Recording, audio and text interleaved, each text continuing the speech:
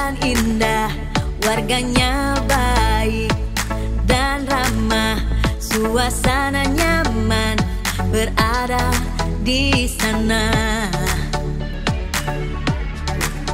Sejarah